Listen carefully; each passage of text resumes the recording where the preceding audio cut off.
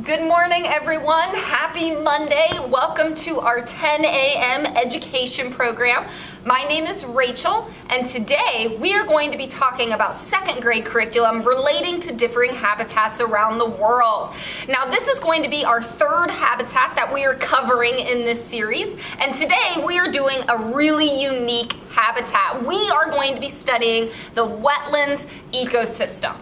Now, wetlands are ecosystems around the world that have water in them at least some of the year. And it's not usually salt water, although there are some saltwater wetlands, but it's also fresh water as well. So we're not talking about the oceans, we're talking about places like swamps, marshes, bogs, fens, and many of these pools of water that are there at least part of the year.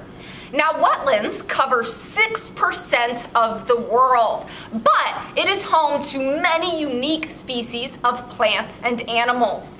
So today, we are going to talk about some of the plants and animals and their adaptations for living in the wetlands, and we're going to meet a real wetlands animal that lives here in Kansas. So let's get started. First, we want to talk about a few of the plants in the wetlands. What I have here is a picture of the North American water lily, which is a beautiful white flower that we have here in the United States. Now, many types of plants that live in the wetlands, not only are their roots and their stems um, adapted to being able to take on a lot of water, but so are their leaves. You will notice that around this lily are leaves that are really round and really big.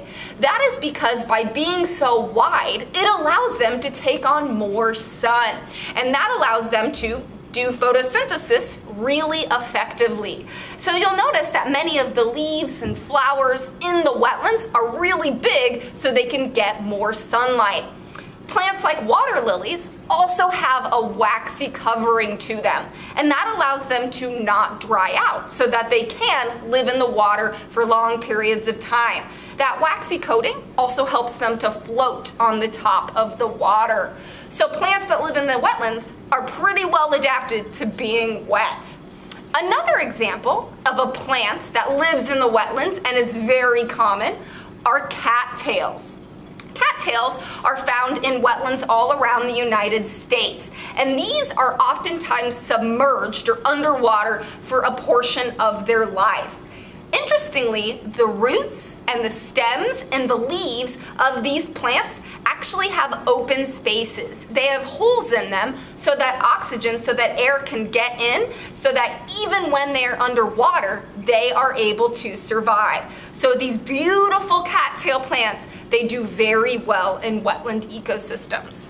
So do many animals animals who live in the wetlands, like the alligator, are oftentimes colored or camouflaged to blend in super well with the murky water. So although we don't have alligators here in Kansas, they do live in wetlands, in swamps and marshes in the southeastern United States. And they thrive in those wet places because they are really good at swimming with their webbed feet and their long tail and they are the color of the water. Even when they hatch out of their eggs, they blend in really, really well. So alligators is one of the bigger predators that lives in a wetland. Now here in Kansas, we have lots of different reptiles, amphibians, invertebrates, mammals that live in the wetlands. Let's talk about a few of the reptiles that you might see here in Kansas. One of the most obvious ones are red-eared sliders and different types of turtles. These are water turtles and they love to live in our ponds, our rivers, our lake, and our aquatic wetland areas. Just like the alligator, they've got this dark, murky color to them, which allows them to camouflage and blend into the water. Now this is a medium-sized turtle because they like to eat things like small fish, frog eggs, some of the plants in the wetlands. But here in Kansas, we also get bigger sized turtles as well. For instance, you might come across one of these guys, a snapping turtle. Now, snapping turtles are bigger than our red-eared sliders, our pond turtles, and they have a really sharp beak on the front of their mouth that they use for catching and killing their prey. They are carnivores, so they are going to be eating only meat. Things like snakes and fish and frogs in the water. Now, snapping turtles are the turtle species that you have to be a little bit careful of here in Kansas. And they're pretty easy to identify once you know what you're looking for. First of all, you can see that mouth, they look really prehistoric. And they oftentimes look a little bit cranky with that big, uh, sharp beak and that wide open mouth.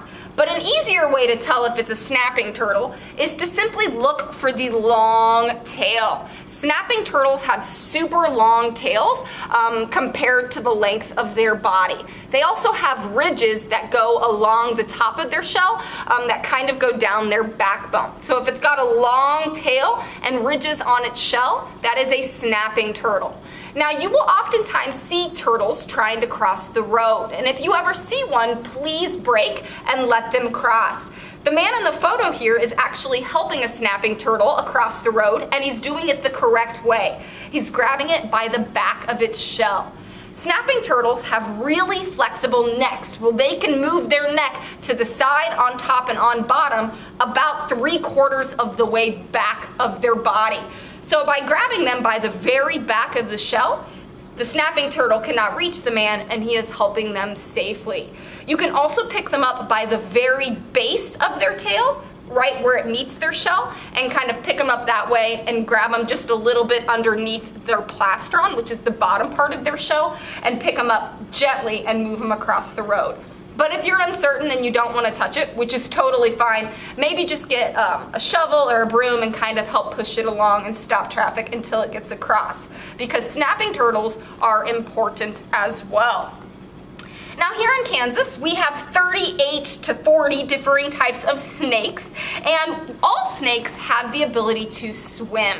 Sometimes people think that if a snake is in the water, it is venomous. However, that is not true. All snakes can swim. Here in Kansas, in Shawnee County and in Douglas County and in northeastern parts of the uh, state, we have what we call the northern water snake. Now this is a very common type of snake that is in our wetlands. These are not venomous. They cannot hurt you. But oftentimes people mistake this harmless snake for a cottonmouth. Cottonmouths are only found in Cherokee County in Kansas. This is the southeasternmost county in our state. So if you live in Topeka, Lawrence, anywhere in northeast Kansas, you are not going to find cottonmouths. So if you see a brown colored snake like this in our waterways, it cannot hurt you. It is just a water snake. It is not venomous. But just like the alligator and the turtle, it is darkly colored so it blends in really, really well with the water. Now in Kansas, we also have a variety of birds that enjoy the wetlands as well. Birds like geese and ducks are very well adapted to the aquatic lifestyle because they have webbed feet. Many animals that live in the wetlands, they're adapted to the water because of this extra skin between their toes. This is what we call webbing or webbed feet and it acts like a paddle. It allows the ducks and the geese and the frogs and the alligators to swim really, really quickly. So ducks and geese love living on the water. They like eating the plants and as well as some of the fish and the bugs that are in the water. So you will oftentimes see many differing varieties of ducks and geese here in Kansas.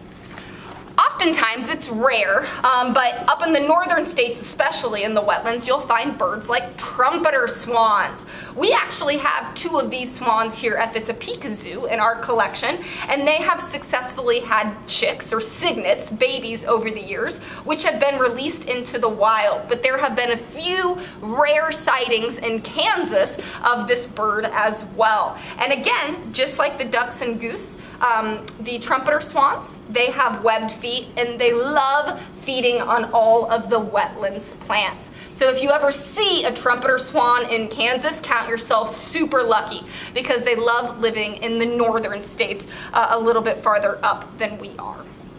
Now, here in Kansas, we also have a variety of invertebrates, or animals without a backbone, that live in our water waterways. Things like crayfish. This is an example of an animal called a northern crayfish, which is really hard for me to say because as a Kansan, we want to call these crawdads, and that is completely acceptable. This animal goes by many names. Crayfish, crawfish, crawdads, it's all the same thing. It is this crustacean creature that lives in the bottom of our ponds and um, is an omnivore, which means they are going to be eating the plants, um, the living and the dead ones, as well as differing types of animals. They'll eat fish, they'll eat frogs, they'll even eat other crayfish or crawdads. So at the bottom of our wetlands, you can find this animal. We have other types of invertebrates in Kansas as well. Things like insects that live near the water. For instance, you might, if you're near a pond, see animals like dragonflies and damselflies. Both of these are carnivorous. They eat other animals, types of insects, and they're very similar. However, dragonflies, you can tell the difference because they hold their wings open and down, like this one, the common green darner. And damselflies, like this American ruby spot, they hold their wings together and upright. So if the wings are out like this, it's a dragonfly. If the wings are back like this, it is a damselfly. And we have both here in Kansas.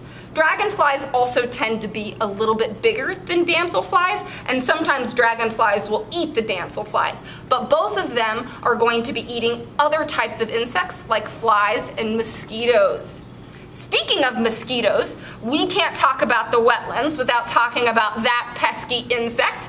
Mosquitoes love living near water.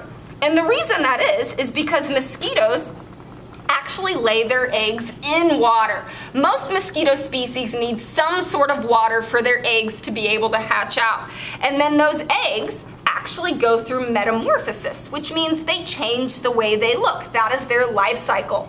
So they go from eggs to larva, to pupa, and then to an adult mosquito.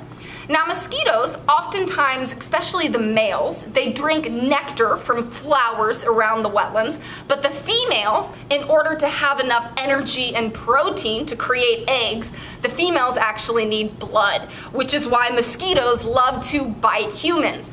Actually, the saliva of mosquitoes is what allows um, us to not feel it when a mosquito is biting us. It not only makes the blood thinner so that they can drink it easier, but the saliva of a mosquito numbs our skin so we oftentimes don't feel them there for several seconds. So you can see lots of insects in the wetlands as well. Now you guys, today, for the live animal that we are going to meet, this is the Kansas State Amphibian. If any of you guys know what the state amphibian is, please put it in the comments because lots of amphibians, frogs, toads, salamanders, newts, obviously love living in the wetlands because the word amphibian itself means to lead a double life. That means they are born in the water, they change their life cycle and are able to move on to land as an adult. But this animal is one that we have here in Kansas. They live in the wetlands. They are nocturnal and they oftentimes burrow underneath the ground as well. If you guessed barred tiger salamander as the state amphibian, you are right. This handsome guy here is Hulk, and he is a barred tiger salamander. Barred tiger salamanders are our Kansas state amphibian. And interestingly, they come in two separate colors. They come in this green color, which Hulk gets his name from, and they also come in a vibrant yellow color, kind of like this toy that I have right here. But both are the same species. They are the barred tiger salamander. Now, just like our alligator and our turtle and our snake, these animals are darker in color so that they are able to camouflage in with the dirt and the water where they live. They also have the yellow and green color as a warning. Does anybody know what a tiger salamander is warning of with these beautiful colors? I'll give you a hint. It's the same warning that a poison dart frog or a monarch butterfly or a ladybug has by being bright colors. All of those are warning colors, signaling that this is a poisonous animal. Now, picking up Hulk, it's not going to do you any harm unless he has actually secreted that poison. Underneath the base of his tail, right around here, is there is a gland, and that is where the poison comes out. And he can choose to secrete to have that poison come out or not. So his whole body is not caked in poison. It simply comes out of this gland if he chooses to do so. But he can have that poison come out if a predator is trying to eat him. Because if a predator eats a poisonous salamander and gets really, really sick, they are never going to try and eat one of these guys again. Now, barred tiger salamanders, they are carnivores, so they eat other animals. He loves eating fish eggs and earthworms and slugs and uh, small animals that are in the mud. Now, they do go through a life cycle change, metamorphosis. Um, here is a picture of their life cycle. So one female barred tiger salamander can lay up to 100 eggs at a time, and she lays them in the water, and after they hatch out of their egg, they become their larva stage where they actually have gills that they breathe through. And then as they grow older, they start to grow their limbs. Salamanders grow their front legs first, which I think is interesting because frogs grow their back legs first, and then they grow their back legs, and then they start to lose their gills and become an adult salamander. So the life cycle, the change in the way they look from the egg stage to an adult, depends on the salamander species how long it takes. It could take just a few days for some species to up to several years. And there are over 600 species of salamanders that we know of worldwide. So there is a lot of diversity in this animal group. But if you see one of these animals in the wetlands here in Kansas, count yourself lucky because they do live pretty secretive lives. They can burrow pretty deep underground and they come out at nighttime. So this is not an animal that you see very often. And sometimes if you're looking for salamanders, you have to overturn logs or kind of dig in the mud as a way to find them. So before we take questions, I do want to show you guys our homework assignment for our second graders today. This is a wetland word scramble. And what you all need to do is unscramble the words at the side as um, it's a plant or animal that lives in the wetlands. And once you've unscrambled each one of these, the green circles right here lead you to a secret message at the bottom. So I want you to unscramble the plants and animals we learned about, decode the secret message, and take a picture and put it in the comments. So my friends, today we learned all about wetlands. Wetlands cover 6% of the Earth's surface. However, over the last 100 years, wetlands, we have lost 50% of them, half of the wetlands in the world are gone. And that is because of habitat loss. We're destroying the wetlands and making our own houses and beach houses and shopping centers and pollution. So these animals that live in the water, they are sensitive. Amphibians, like salamanders and frogs, they actually breathe through their skin. That is why I have Hulk in the water here, so he stays wet, because that is one of his defenses. But if there's a lot of pollution in his waterway, it is going to harm him. So we need to do what we can to protect the wetlands. They are one of the most rapidly degrading ecosystems in the world, which means we are losing them at a very alarming rate. So next time you're near a bog or a fen, a swamp, a marsh, a pond, take a look around. Appreciate the plant and animal life and know that that is rare and we need to protect it.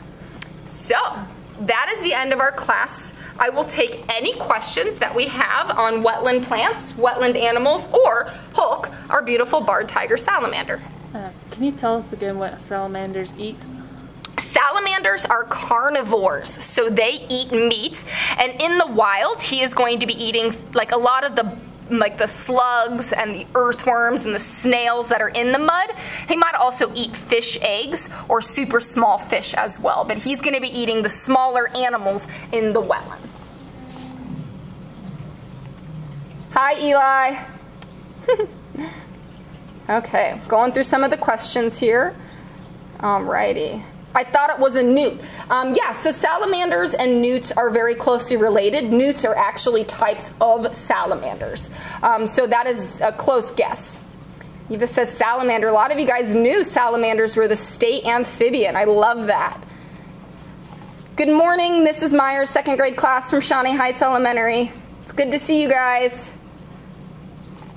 Oh, we miss you guys too. We love doing these education programs. Um, we miss our students, but it's a good way to connect to the community and ask questions as well. Eli, what is the biggest amphibian?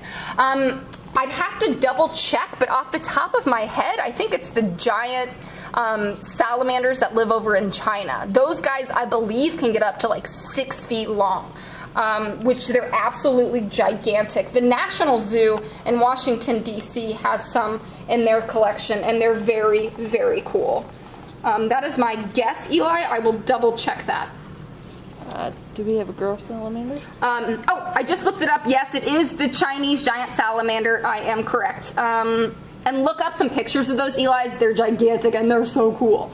Um, we do not have a girl salamander. So the Topeka Zoo, we only breed animals that are threatened or endangered. And although amphibians in general are not doing well in the wild, barred tiger salamanders specifically are doing okay. We also don't have enough space to rear up to 100 babies. So we just have Hulk. He was actually a rescue salamander. He came in, um, he got he got transferred from Prairie Park Nature Center actually, but somebody had found him in the wild in injured, and uh, they took him in and saved him.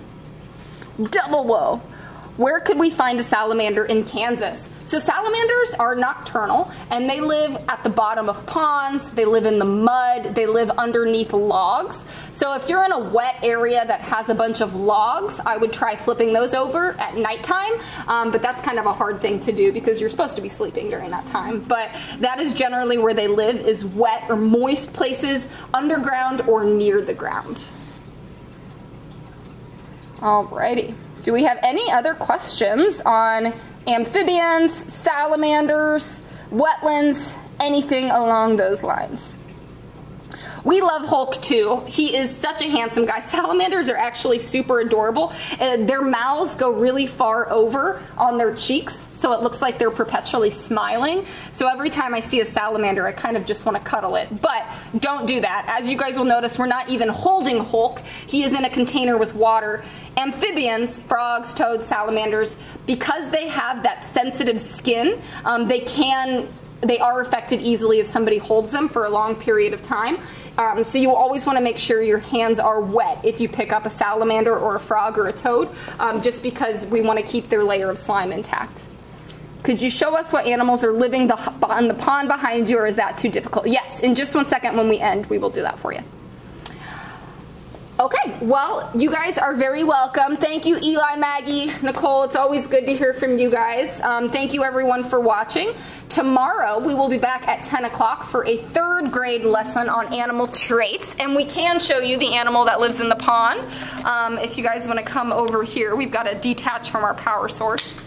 So, our little wetland that we have back here, um, it just actually holds our painted turtle, Mona Lisa, who is hiding under her rock, so you can't actually even see her. We used to have our American alligator in here as well, um, but he got too big, so now he is living in a big pond in the back of the zoo's rainforest. Uh, and Mona Lisa has the whole place to herself, which she is very excited about. So we don't have, you can't see her, she's hiding, but this is where she lives. Alrighty, well you guys, thank you so much. We will see you tomorrow for our next class at 10 a.m. Have a good day.